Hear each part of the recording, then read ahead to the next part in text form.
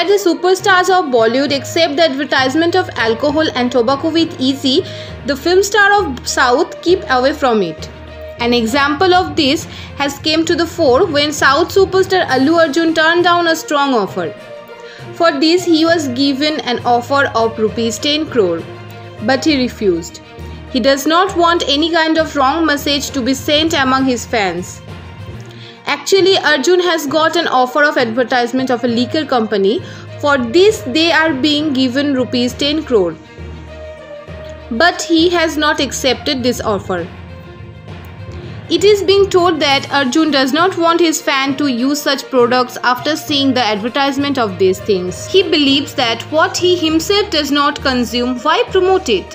He does not want to give any wrong message to his fans.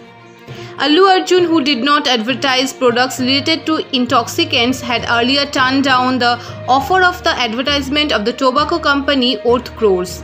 Then he said, I do not want to promote any wrong thing among the fans.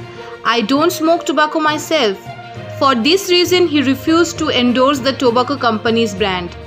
His close friend says that Allu sir gives a message to people to avoid such things.